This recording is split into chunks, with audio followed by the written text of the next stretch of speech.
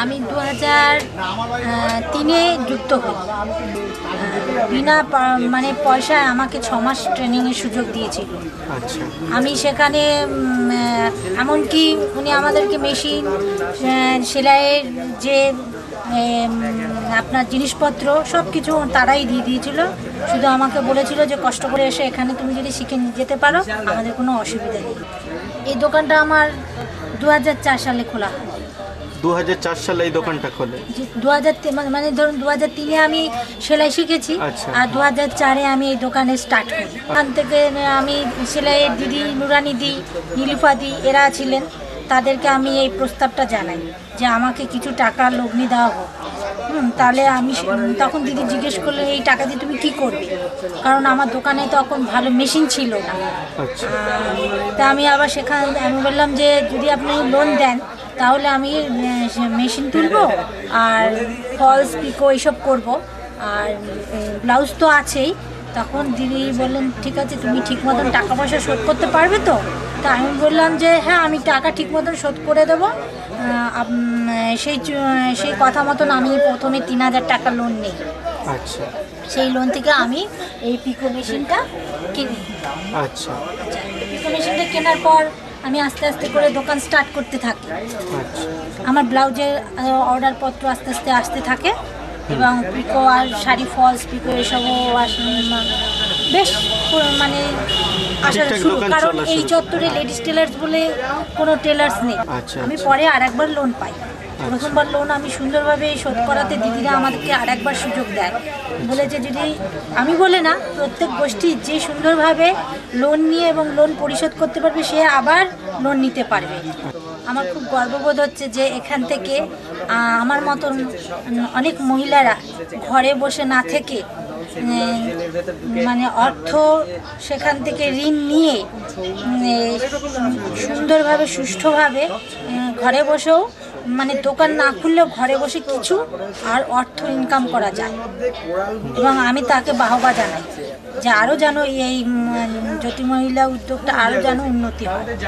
আমি জ্যোতি মহিলা উদ্যোগকে আমি এই বলতে চাই যেন আমার এখন যে মানে গাছটি আছে সেই গাছটা যেন বট গাছের মতন শাখা পোশাকার মতন বড় হয়ে ওঠে আরও আমার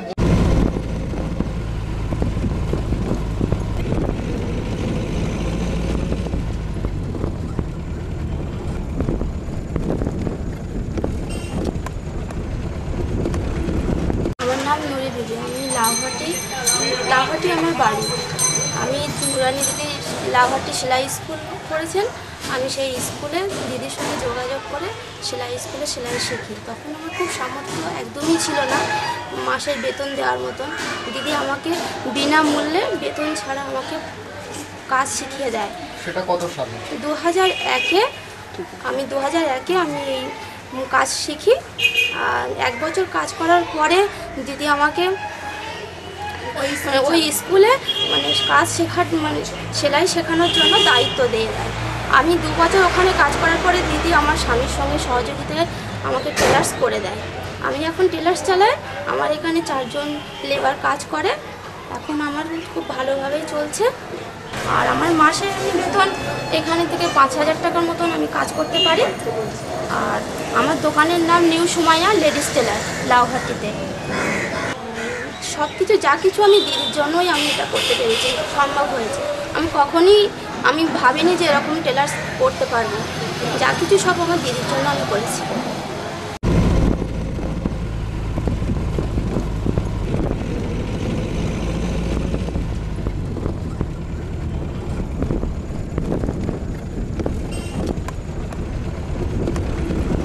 আপনি সেলাই যে শিখেছেন এটা কোথা দিয়ে শিখেছেন?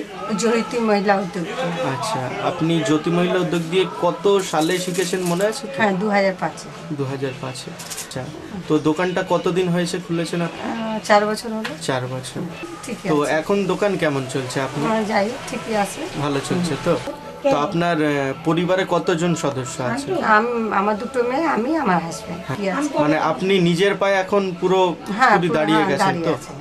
ঠিক আছে তো আপনার মোটামুটি আয় কেমন হচ্ছে দোকান দিয়ে? দু হাজার টাকা মতো মাসে চলে আসছে। এতে আপনার পরিবারও ঠিক চলে হ্যাঁ পরিবারে দুটো মেয়ে যেখানে পড়াশোনার দরকার পড়ে। অবশ্যই। একটা ভালো স্কুলে দিয়েছি ওর রেজিস্ট্রেশনটা এখন থাকে। ভালো হিসাবেই আছে। তো তো জ্যোতি মহিলা উদ্যোগ এই যে এখন যে এত বড় হয়ে গেছে তো এটা শুনে আপনার কেমন লাগছে? নিশ্চয়ই আমাদের স্কুল যে এরকম আছে তা আর আরও এগোক ওতে থেকে আমরা তো স্টুডেন্ট নাম তো হবেই। আচ্ছা। তো আপনি উইশ হিসাবে শুভেচ্ছা বার্তা হিসাবে কিছু বলতে চান?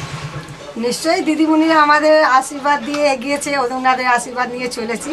সবসময় ওনারাও ভালো থাকুক স্কুল সবসময় এগিয়ে থাকুক আর ওনাদের আশীর্বাদে আমি যেন এগিয়ে থাকি।